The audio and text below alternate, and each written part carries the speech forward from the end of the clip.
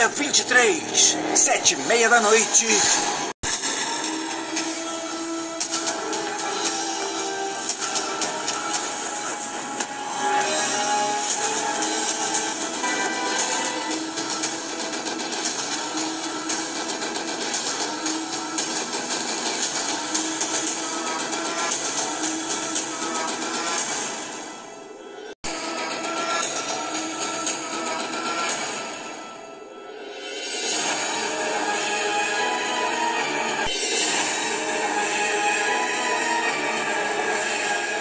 Assista esse episódio duas vezes seguidas.